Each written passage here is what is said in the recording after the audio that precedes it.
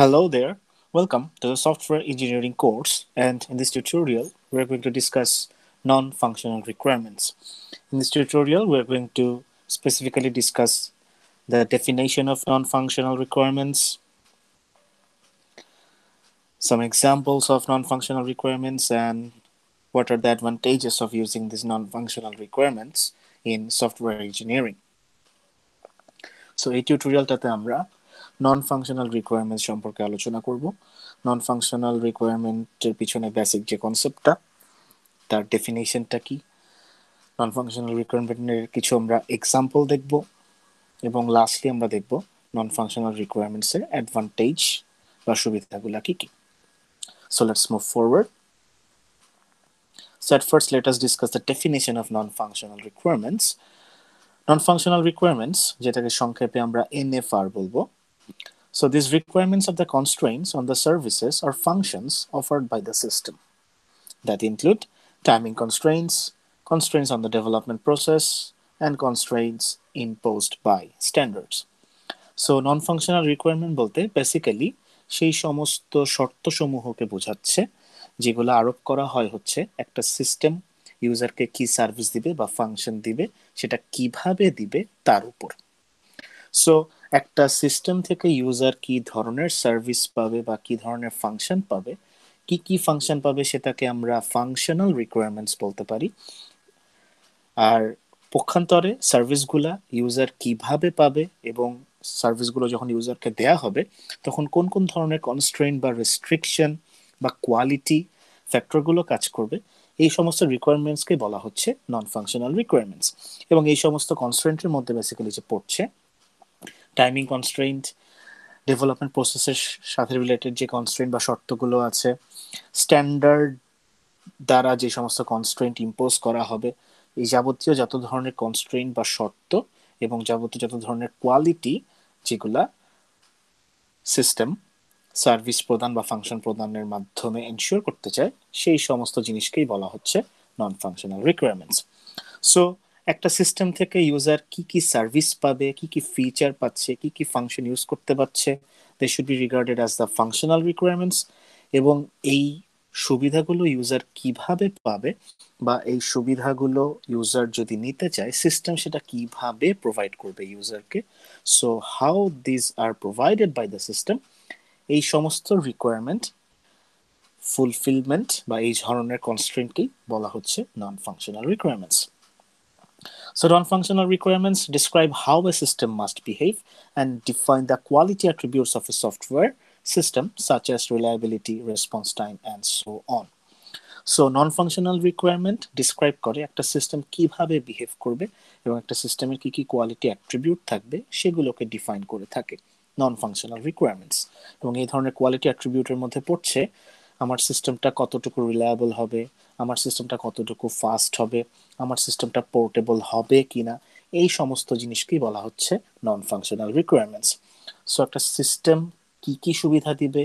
They should be regarded as the functional requirements এবং সেই সুবিধা বা ফিচারগুলো দেওয়ার জন্য সিস্টেম কীভাবে বিহেভ করবে? They are regarded as the non functional requirements Non-functional requirements are contrasted with functional requirements that define specific behavior or functions and are not related directly to any particular function provided by the system. So যেটা বলছিলাম functional requirements define করে specific কি কি behaviour বা function user system থেকে পাবে but non functional requirement কিন্তু functional requirement থেকে সম্পূর্ণ আলাদা এবং পার্টিকুলার কোনো বিহেভিয়ার বা ফাংশনের সাথে যে একটা নন ফাংশনাল রিকোয়ারমেন্ট রিলেটেড থাকবে ডিরেক্টলি সেটা কিন্তু কখনোই না। কিছু কিছু সময় পুরা সিস্টেম কীভাবে বিহেভ করবে অ্যাজ এ হোল এই জিনিসটাও কিন্তু নন ফাংশনাল রিকোয়ারমেন্ট দ্বারা ডিফাইন করা হয়ে থাকে। Alright non functional requirements represent a set of standards use to জাজ the specific operation of a system or sometimes the whole system for example how fast does the website load so যেটা বলছিলাম যে non functional requirement আসলে represent করে set of স্ট্যান্ডার্ডকে যে সমস্ত standard use করে আমি একটা হোল সিস্টেমকে জাজ করতে পারব, অথবা একটা সিস্টেমের স্পেসিফিক অপারেশনকে জাজ করতে পারব কোয়ালিটির দিক দিয়ে।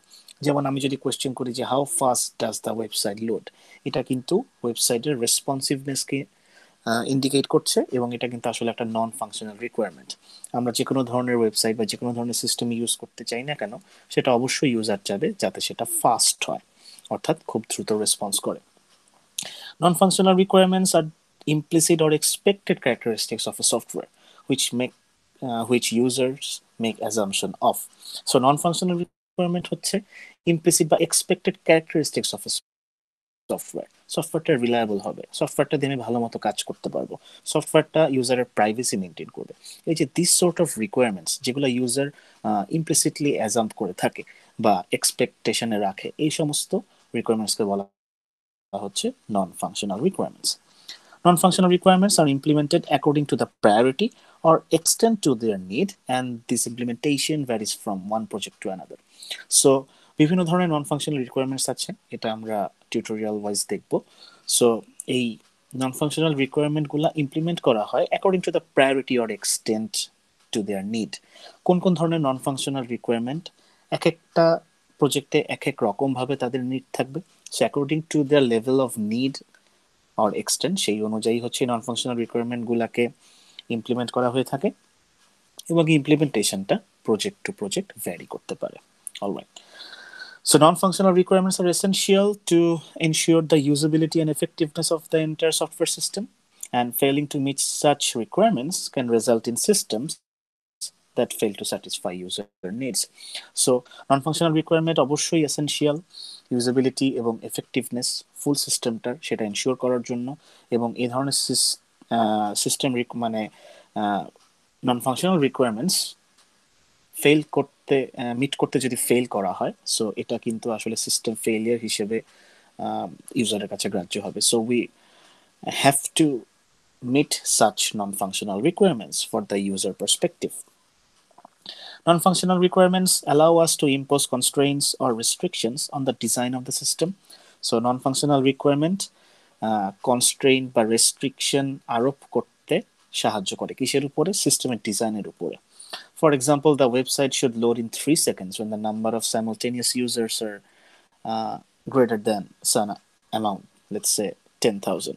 So, এখানে কিন্তু কিছু রেস্ট্রিকশন বা কনস্ট্রেন বলে দেওয়া হচ্ছে বা কিছু এক্সপেকটেশনের কথা বলা হচ্ছে যে ওয়েবসাইটের একটা পার্টিকুলার অ্যামাউন্ট অফ ইউজার যদি প্রেজেন্ট থাকে সাইমultaneously যদি তারা ওয়েবসাইটটাকে অ্যাক্সেস করতে চায় it should not take more than three seconds that is it should load in three seconds alright so বোঝাই যাচ্ছে নন ফাংশনাল রিকোয়ারমেন্ট বেসিক্যালি একটা সিস্টেমের কোয়ালিটি অ্যাট্রিবিউট কে ইন্ডিকেট করছে।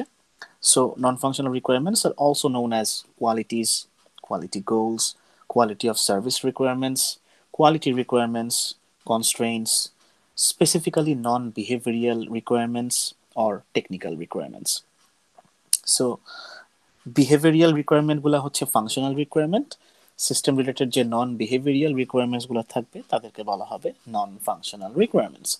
Non-functional requirement arise হয়। কি কি কারণে arise হতে পারে? User expectation বা user requirements বাজেটের কনস্ট্রেন্ট থাকতে পারে একটা সিস্টেম ডেভেলপ করার জন্য। সিস্টেমটা যে অর্গানাইজেশন তারা আসলে, বা অর্গানাইজেশনের জন্য ডেভেলপ করা হচ্ছে, তাদের বিভিন্ন পলিসি থাকতে পারে। এক্সটার্নাল কিছু পলিসি থাকতে পারে অ্যান্ড সো অন সো এই সমস্ত কারণে নন ফাংশনাল রিকোয়ারমেন্ট অ্যারাইজ হয়ে থাকে All right, so these are the basic definition or the basic concept behind non-functional requirements. Now, let's take a look at some examples of non-functional requirements. NFR non functional requirement কিরকম হতে পারে